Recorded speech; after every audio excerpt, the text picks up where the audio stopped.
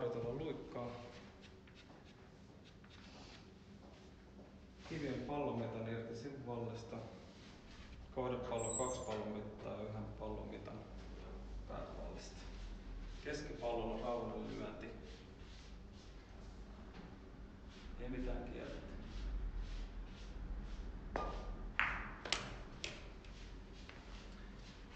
Ja nyt yritetään päälle vetoa.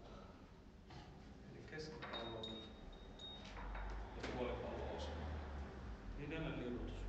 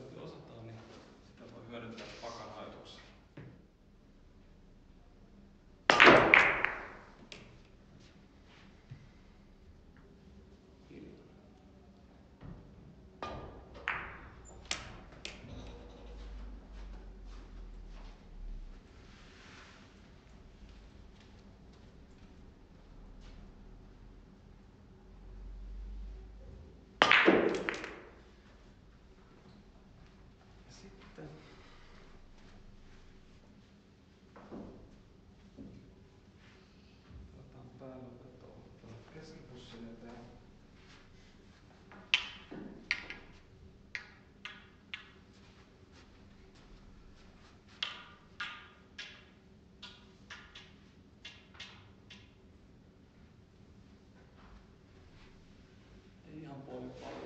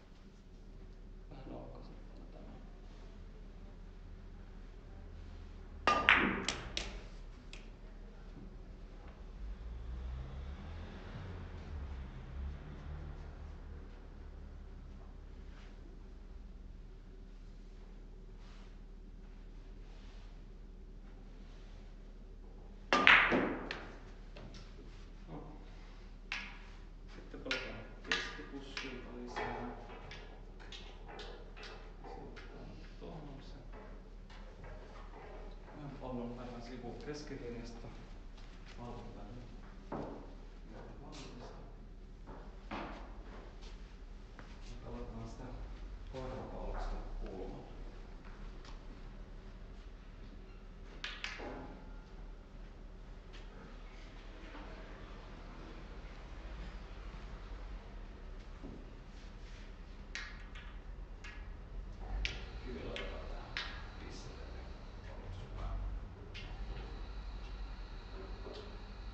Guests can follow along.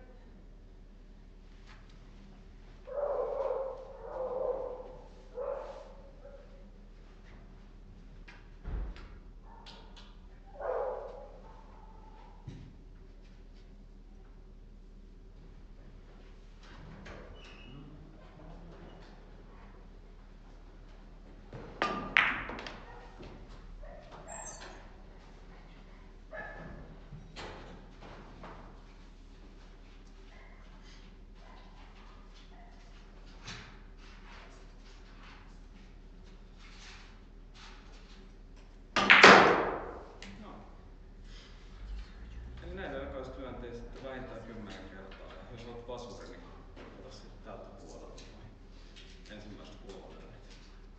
Nähdään ensi videossa.